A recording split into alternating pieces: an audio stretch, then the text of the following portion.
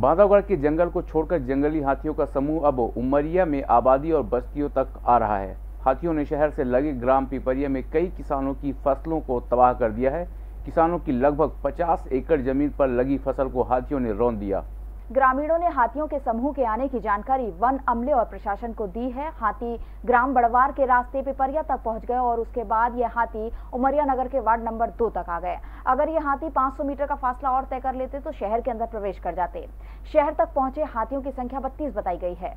कुछ लोगों ने बड़ी संख्या में हाथियों को आता देख पेड़ पर चढ़ना मुनासिब समझा और उनका वीडियो भी बना लिया, जिसमें हाथी दिखाई पड़ रहे हैं। सोमवार की सुबह तक यह हाथी बिलिकाप स्कूल के पास मौजूद थे।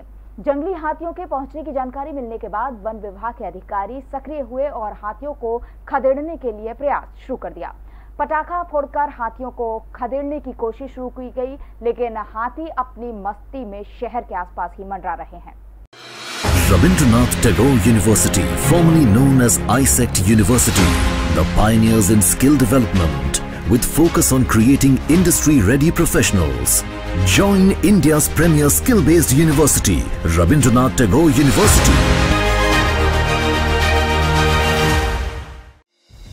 संगीत की स्वर लहरियों से सांस्कृतिक ताने बाने तक चंबल के पीड़ों से नक्सलवादियों के गढ़ तक झोपड़ी से महलों तक ठेलों से मेलों तक पगडंडियों से सड़कों तक गाँव से शहरों तक व्यापार से उद्योगों तक राजनीति से कूटनीति तक। दखन न्यूज़। आपके हक में।